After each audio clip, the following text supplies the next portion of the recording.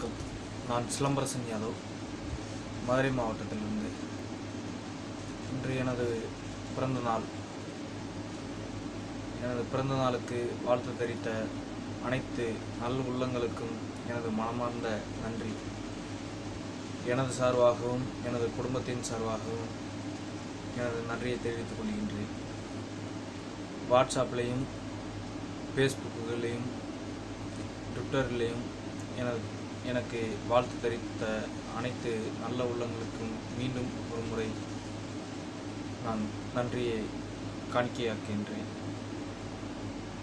என்றும் சமுதாய பணியில் உங்களுடனும் நானும் ஒருவனாக பயணிப்பேன்.